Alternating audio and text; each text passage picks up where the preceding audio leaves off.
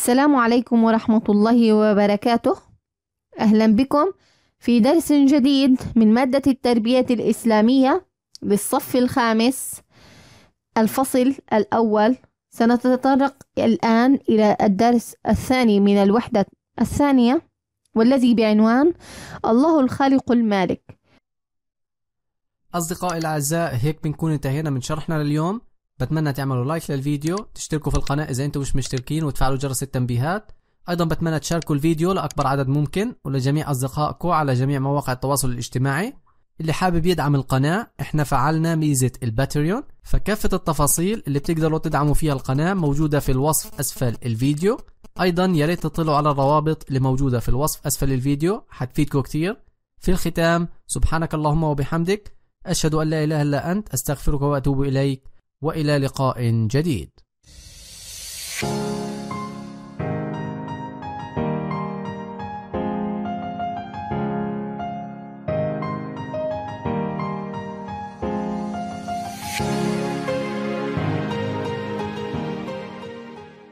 صفحة 28 سنقوم بداية بقراءة بعض الآيات القرآنية الموجودة في الكتاب ومن ثم سنستنتج من هذه النصوص العبر والعظات الموجودة فيها. بداية قال تعالى وذلكم, وذلكم الله ربكم خالق كل شيء لا إله إلا هو فأنا تؤفكون. ثانيا قال تعالى قل اللهم مالك الملك مالك الملك تؤتي الملك من تشاء وتنزع الملك ممن تشاء. ثالثا قال تعالى أفلم ينظروا إلى السماء فوقهم كيف بنيناها وزيناها وما لها من فروج. نستنتج من هذه النصوص بعد قراءتها. أن الله سبحانه وتعالى هو الخالق المالك الذي أوجد وخلق كل شيء ومالكه.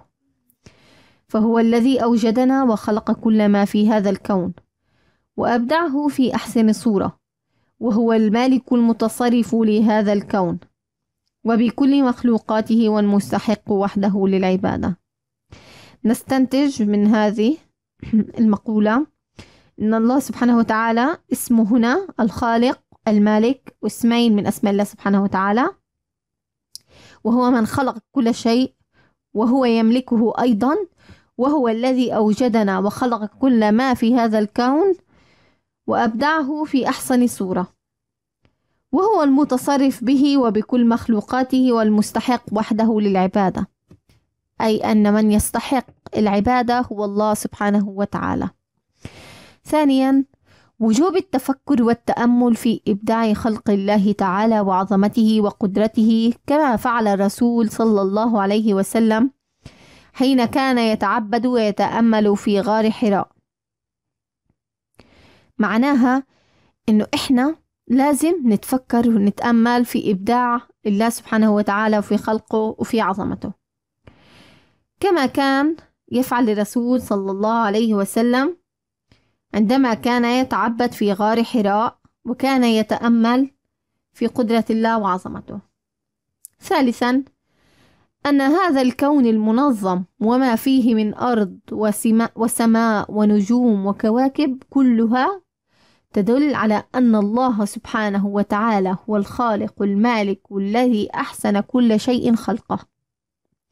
نحن عندما ننظر إلى الأرض كيف هي مسطحة والجبال كيف هي عالية ولها قمم والسماء كيف هي ذات ذات الغيوم الجميلة والصفي وتكون صافية أيضا والنجوم عندما تكون متلألئة في السماء في الليل والكواكب المنيرة.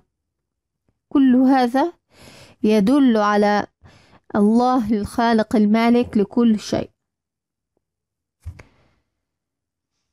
انتهينا من من شرح الدرس ويوجد لنا هنا إضاءة صفحة تسعة وعشرين. نردد معا لا إله إلا الله وحده لا شريك له. له الملك وله الحمد يحيي ويميت وهو على كل شيء قدير.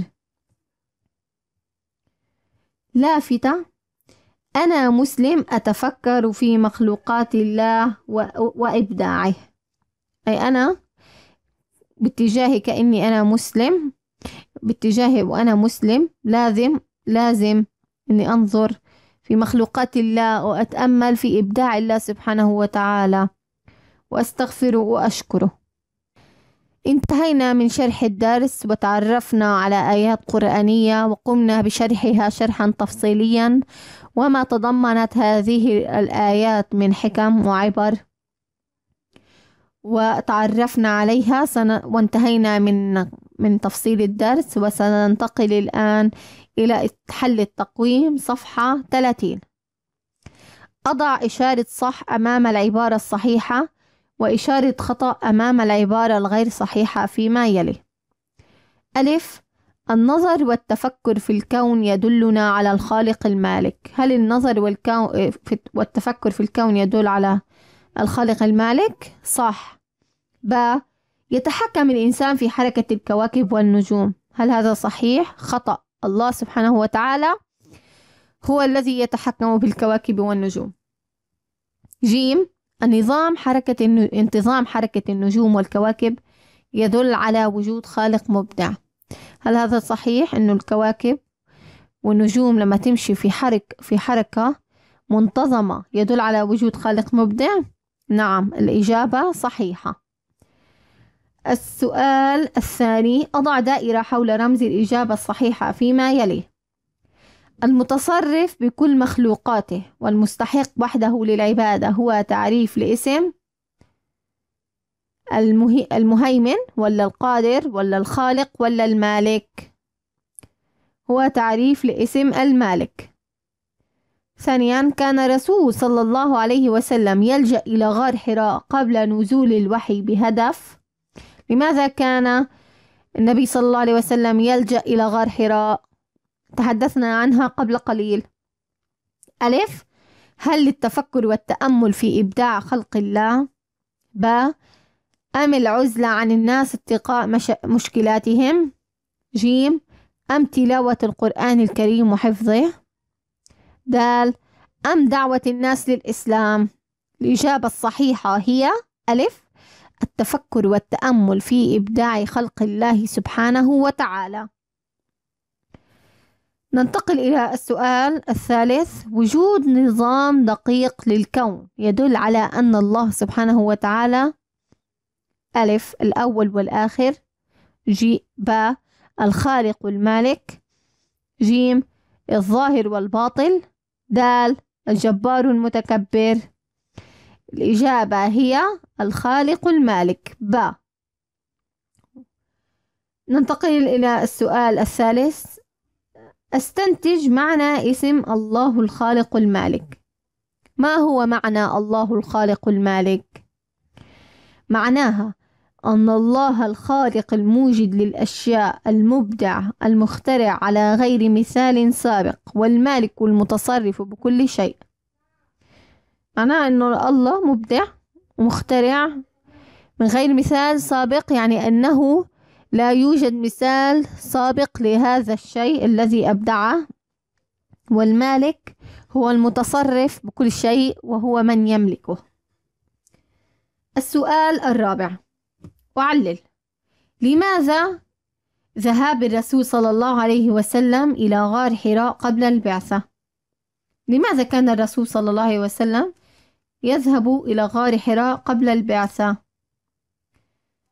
إجابة هي للتفكر والتأمل في خلق الله سبحانه وتعالى وعظمته. كان يذهب إلى غار حراء لماذا؟ حتى يتفكر ويتأمل في خلق الله سبحانه وتعالى وفي عظمة الله سبحانه وتعالى. السؤال الخامس ما واجبي نحو الله الخالق المبدع؟ أنا كإنسان مسلم إيش واجبي تجاه الله سبحانه وتعالى اللي خلقني واللي ملك كل إشي؟ لازم إني إيش؟ أولا أن أعبده. إنه أعبد الله سبحانه وتعالى يعني أصلي أصوم أتصدق أزكي. ثانيا ألتزم أوامره يعني أقوم ألتزم وألتزم بأوامر الله سبحانه وتعالى جميعها وما يأمرني بها. ثلاثة أجتنب نواهيه يعني كل منكر الله نهانا عنه إنه إحنا نفعله بنجتنبه وما بنعمله. السؤال السادس والأخير أستنتج اسما من أسماء الله سبحانه وتعالى. من قوله تعالى الذي أحسن كل شيء خلقه وبدأ, وبدأ خلق الإنسان من طين. معنى الآية إنه الله أحسن كل شيء خلقه وخلق الإنسان من طين. معروف الإنسان من إيش؟ مخلوق. الإنسان مخلوق من طين. نستنتج من هذه الآية. ماذا نستنتج؟ أن الله سبحانه وتعالى هو الخالق المالك. لا يوجد خالق سوى الله ولا يوجد مالك سوى الله سبحانه وتعالى. أصدقائي الأعزاء هيك بنكون انتهينا من شرحنا لليوم. بتمنى تعملوا like للفيديو تشتركوا في القناة إذا أنتم مش مشتركين وتفعلوا جرس التنبيهات. أيضا بتمنى تشاركوا الفيديو لأكبر عدد ممكن ولجميع أصدقائكم على جميع مواقع التواصل الاجتماعي. اللي حابب يدعم القناة إحنا فعلنا ميزة ال Patreon فكافة التفاصيل اللي بتقدروا تدعموا فيها القناة موجودة في الوصف أسفل الفيديو. أيضا يا ريت تطلعوا على الروابط اللي موجودة في الوصف أسفل الفيديو حتفيدكم كتير. في الختام سبحانك اللهم وبحمدك أشهد أن لا إله إلا أنت أستغفرك وأتوب إليك وإلى لقاء جديد. Thank